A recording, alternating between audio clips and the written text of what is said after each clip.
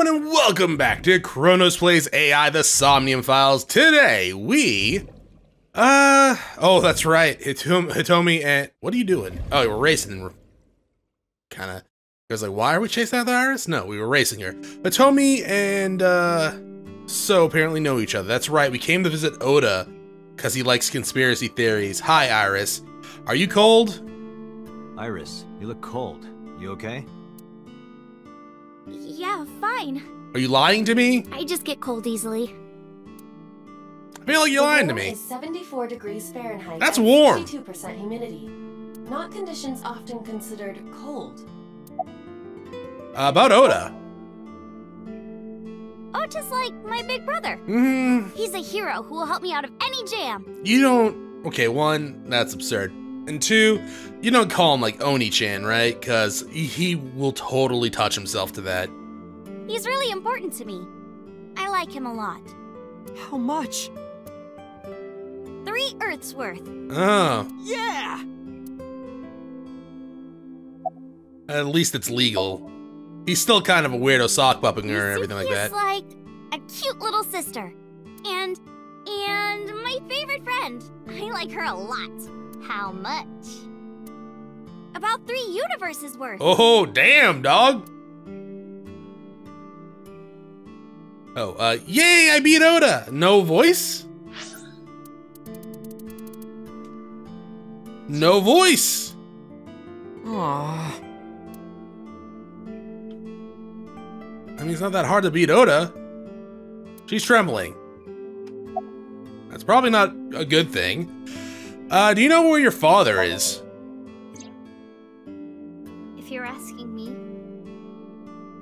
He's involved in all this, isn't Oh, he? absolutely. Is he the culprit? Oh, yeah. Did he really kill mom? You know, at this point, I have no goddamn idea, so I'm just saying yes to everything.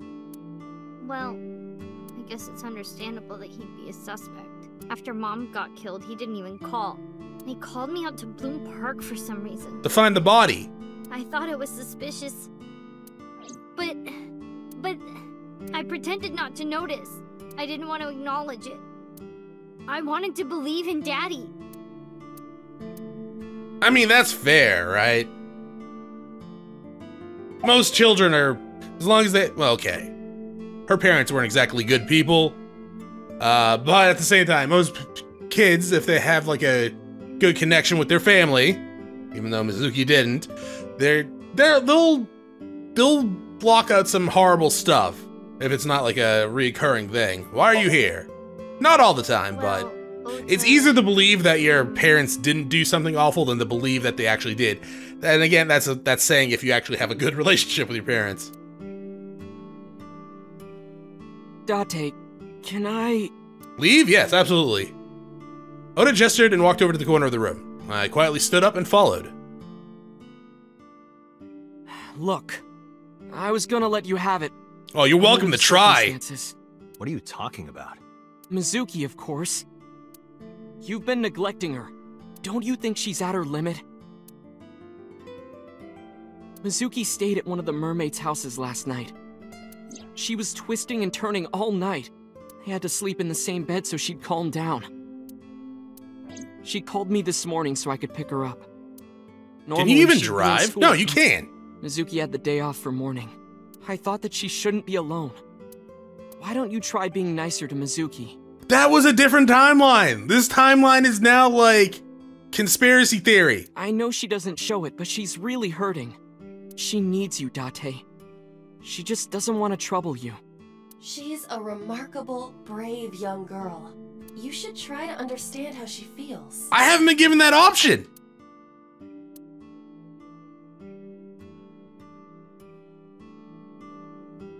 Anyways, go to school, Mizuki. Who is Iris to me? A friend? A big sister?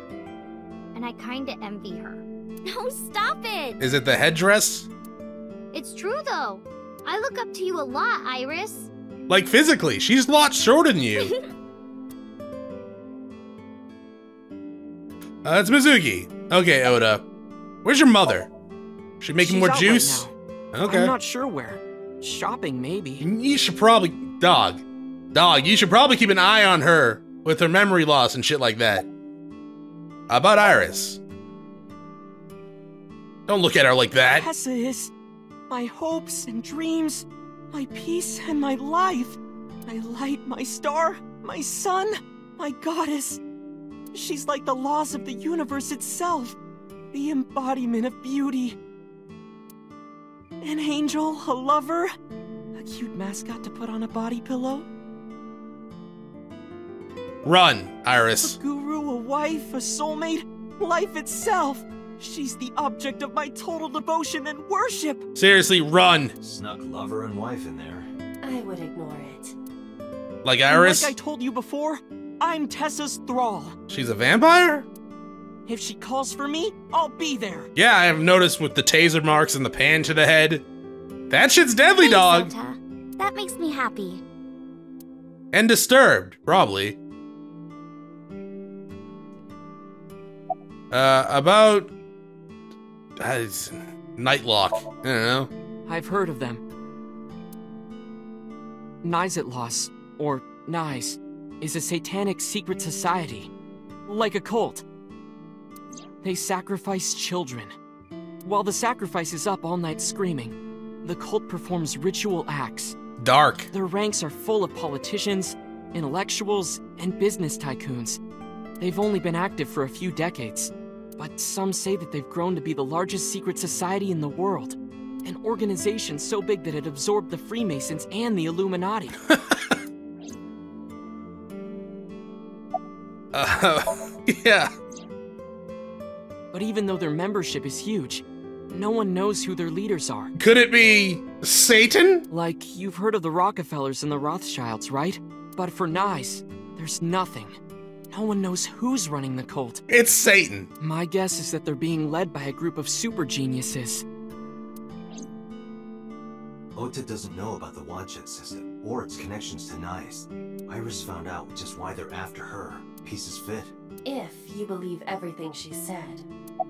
Uh, I guess summarize for me. All right, Iris. Summarize it in the going. way that you would summarize something for a four-year-old child. You got it. Date, if something happens to Tessa, let me know, okay? No, I'll come help right away. that's what I would be worried about. Me too. You less so because you're like superhuman. I'll save you no matter what, Iris. She's probably would too. Thank you both. Promise me. I promise. I don't promise.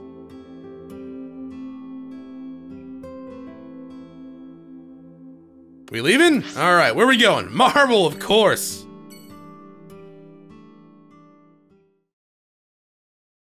Why wouldn't we go to Marble?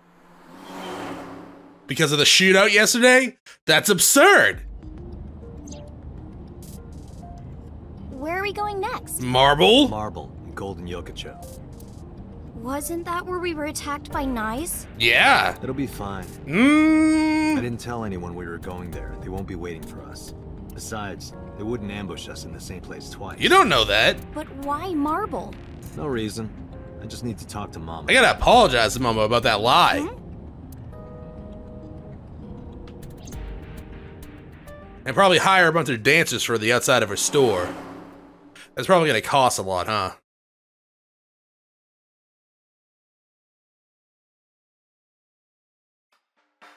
Sorry I couldn't come last night. Sorry about the lie about the Macho Men. No, no, don't worry about it. It was better that you didn't. Huh? You didn't hear? There was a shootout right in front of the bar. I know, I was there. They closed all of Golden Yokocho down. They were saying something about hitmen suddenly pulling out guns and shooting. They were trying to kill a man and a woman. Hi. Why are you looking at me like that? Wait a minute. Yep. I told Mama about last night and about, you know, Matlock. How you doing, Iris? Want a drink? No, I'm okay. Uh, what do you think of Mama? She's a delight.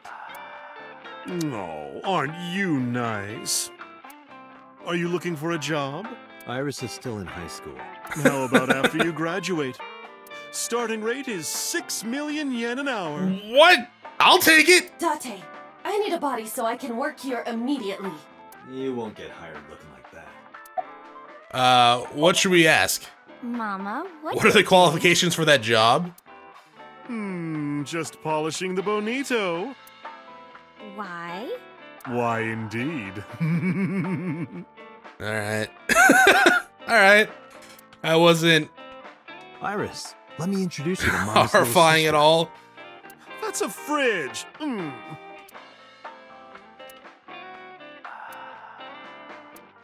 Hey, Date, it says beignet custard on the board. I guess. What is that? Beignet custard. I think it's written wrong. It's supposed to be Vernier thrusters. Mama, you better order them quick or we won't be able to control the rocket. I know, I know. I'll have the Vernier thrusters ready tomorrow. Cool. Can we go to Tashi Station? Pick up some power converters? N- no? Alright, that's fine. I already checked those out. Alright, anything interesting? Honestly, probably not. We've been here so many goddamn times. You sure you don't want to drink, Iris? I'm a cop, so I. Beer! Beer? Where? What, don't like beer? Is that supposed to be a joke? You say stuff like that all the time. Yeah, alone even. Well, Aiba's usually there. Doesn't really count though. Dante, you want to watch Hiroka's promotional video? I don't know what that is, so sure. Who? Uh, anything else? No. All right, introduce Iris. Sorry for the late introduction. This is Iris. Nice to meet you. I'm Aset. You bet. Oh, sorry. Habit. I meant Iris. Oh my, you are so cute. Are you a virgin? You are, right? Yes, Well, yeah. What a coincidence. Me too. I would hope. Oh, you don't say. I Jesus. Uh, about the armed men. I think they must be foreign mafia. Some kind of international organization. They would do anything for money. Nice must Anything? have hired them. Uh, about Matlock. Sorry, honey, but I don't know a thing about that. You're an informant. I'm sure you must know something. I'm well versed in local information. I know all about Tokyo's underworld, but I can't say much about the rest of the world. It seems like you should branch out a little bit then. Mama, I want to ask you something. What is it? Those gunmen were waiting for us. Did you tell anyone we were coming? That's right. You did tell Mama that you were coming, Mama, do you work for Satan? and that you were bringing Iris. Hmm. Well, I did tell one person. And who's that person? Was that Satan? Who? The person I was gonna have you meet, of course. Same guy who gave Ren his watch. Okay. What's his name? Futa, I think. Futa. Futa Amanoma. Futa Amanoma. Do do we know him? All right, one second. One second, Prisms. Do we know of Futa?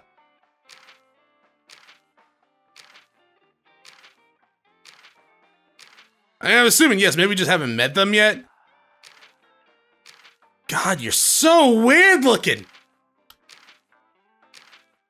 Oh, Pewter City. Oh, are you Satan?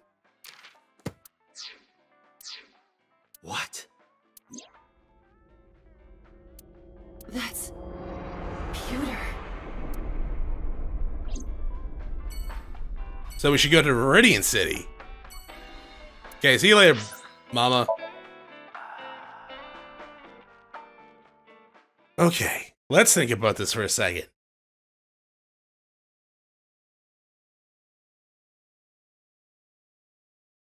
I'm still thinking about it. There's Not exactly one sure. here. Why would we bring Iris? Maybe he went home. No, that can't be. He doesn't have a home. Pewter is definitely around here somewhere. Date, your intuition is correct. I am detecting a living organism nearby. That's Iris. I knew it.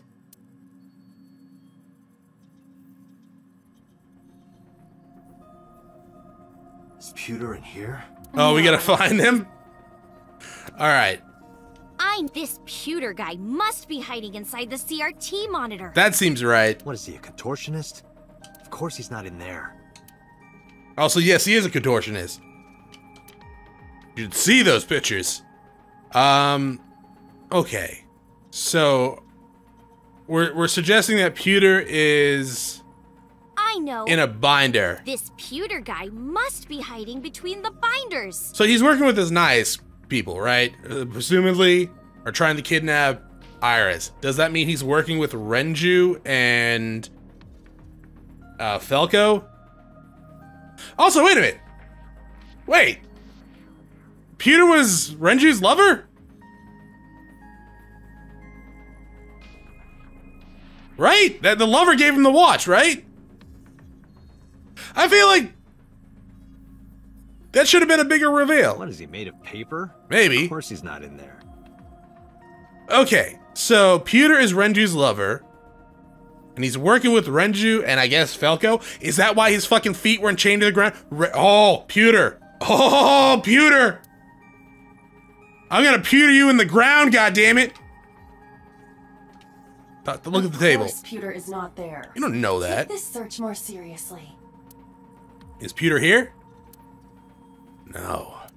Of course not. It's in a locker, I'm imagining, right? Probably. Maybe he went to the virtual world? Having an adventure with like Agumon or something? Oh, he wouldn't have Agumon. He he's he is dressed like a JRPG villain. That's always the clue. Oh, I should have seen this shit coming. I know it's not a JRPG, but still. X-ray.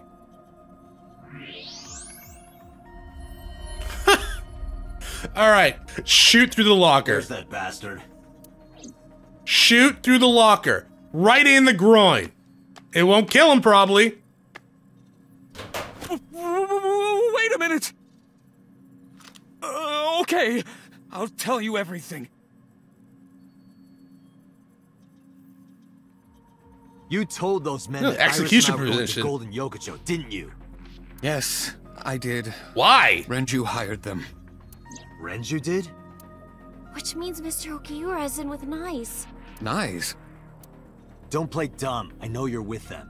I don't know what you're talking about. I was just helping Renju. Did you help number 89 get away? How much does she know? A lot, because I blabber. Shoot him in the kneecaps! Just answer the question. Yes, I did. Oh, that explains the no chained feet. It's been bothering me. How was number 89 able to escape from Metro so easily? Probably because of Pewter. And you were the one being held hostage. If you were helping him the whole time, it all makes sense. Oh, what'd you do with Boss? I'm thinking you made her disappear or something. Introduce Pewter. This is Pewter. Oh, uh, hi. Nice to meet you. Hello. I'll have to give you my card later. I have a feeling that if I reached to my pocket, I would get my head blown off. Oh, you don't have to reach for your pocket for that. Uh, what's what? What? What's that cat on? Oh, you're wait. Yeah, it's the the fanny pack. Now, like, seems like appropriate time to ask that. What is that? Oh, this? It's Bastet, Bastet? a cat goddess. Why are you asking me now? I don't know. I'll reassure her. Sorry you had to see this. It's fine. Is it? But don't worry, I won't kill him. Why? Then can I leave? No. Sure, if you don't mind me breaking every one of your fingers. Yeah, we can do that. Then I'd rather not. Let's start with the toes, though. Makes running away a lot harder when you can't freaking step on your foot. Uh, but we're just watch, I guess. Is it true that you were the one who gave Renju his watch? Yes, that's true. There was no need to ask anything else. Why did Pewter help Renju? His last answer was all I needed to hear. Uh, about 89's escape. Two days ago, Renju escaped from the hospital. Renju asked me on the phone to report everything about Shoko's murder case. That's what he wanted. Yesterday, the boss told me that number 89 was coming. Then, Renju asked, Is there any way we can let number 89 escape? I was conflicted. I thought hard about it, but it was Renju asking. Someone I love. It seems like you thought with the wrong head, Pewter. And he sounded like he was on death's doorstep. He was begging for help. I couldn't say no. No, you could have. With my intelligence, I was quickly able to come up with a plan. We should probably put a brain in his intelligence. You know what the results were. No, a bullet, not a brain. Oh, god damn it, brain. Uh, escape, escape again? The escape happened exactly how I described earlier, though I wasn't being threatened with a gun. You were acting, huh? Just pretending to be his hostage. Yes, Did number 89 know about the plan? of course. We discussed it when we were alone in the interrogation room. Naturally, he agreed. I imagine he would have taken Did we just not have the cameras going in there? With the mics? Even if we failed, he was already serving a life sentence. Uh, why did Renju escape with 89? I don't know. It's true.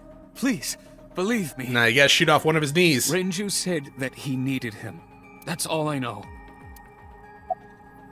Okay, where's boss? I may not look it, but I have connections high up at HQ. Friends from my college days. I asked one of them to call up the boss. Where's Renju? I see. So where is Renju? Even if I knew, why would I tell you? Shoot him! Because you don't want more holes in your body than you already have. You can't. Why not? Date, I didn't tell you all this because you were threatening me. Oh god damn it, is this a trap? I genuinely wanted you to know. To understand. The truth, Date. What are you talking about? There's a variable you haven't considered. I made Aiba. Oh shit. And? You don't get it? Date, his hands!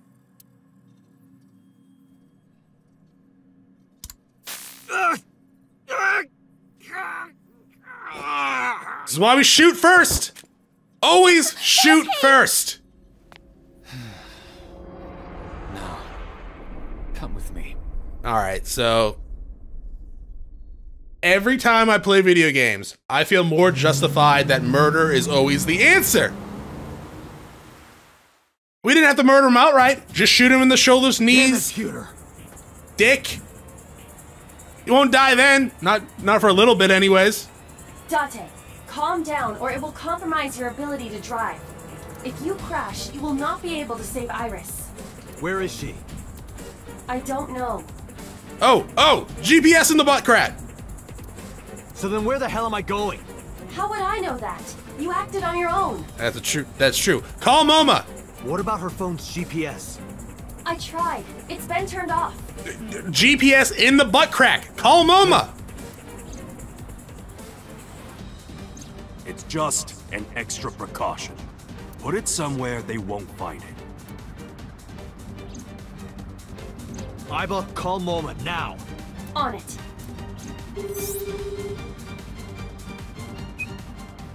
Hey, Dante, what's up? I need you to track that GPS. I explained the situation as fast as I could. Tessa. Tessa got kidnapped? Dante, you bastard! It wasn't me. My eyeball got shot. I know, I know. Yell at me later. Right now, I need you to tell me where she is. God damn it! After a short pause, Moma yelled out. Fishery?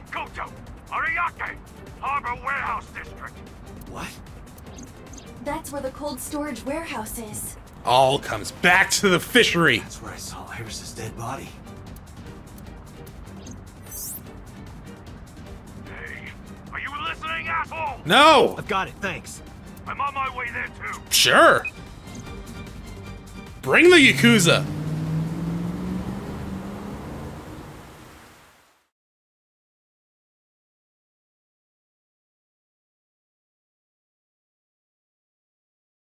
I'm still trying to piece together everything. okay. I don't know. Yeah, I guess I would not. I would not have actually guessed that Pewter was the lover of Renju. There was no real indication of it. I mean, when Pewter. Maybe it's a different timeline sort of thing. I don't know. But, like, when we found Renju's body, Pewter didn't really seem that upset. You figure if someone's even just like remotely close in friendship to you, you'd be upset. Or, you know, if you're their lover, you'd probably be devastated, right? Even if it was just like a friends with benefits type thing. But still, there's a lot of guys here. Something. What do you mean, something? Those are the guys who attacked us at Golden Yokocho. The mercenaries. How many? I detect more than we can see. They are positioned all over the area, surrounding the warehouse. Okay, our Each of them carries an assault rifle. We should get an assault rifle ourselves. Getting through will not be an easy task. Looks that way. There are tons of enemies on high alert all around the storage. Um. Oh, shoot this? Something. Look. It's a barricade? There are portable barricades set up in two areas in front of the warehouse. Those really aren't that good of barricades, man. Portable? You can just walk over them. They can be moved and erected easily. You can probably just drive over them, too. also erected. Uh, portable barricades in two spots around the warehouse.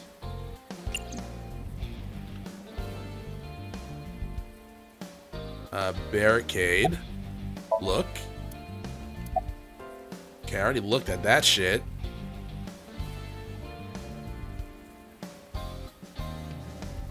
Really? What am I looking for then? Uh, hmm. Okay. Zoom in, I guess. Did I miss something? No.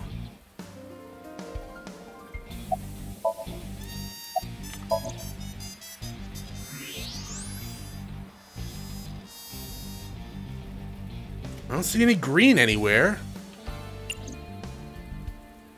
Um. Well. I don't know what to do.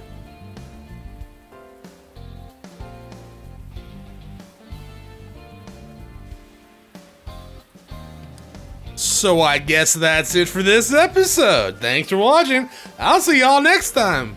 And we'll probably be stuck here for a little bit.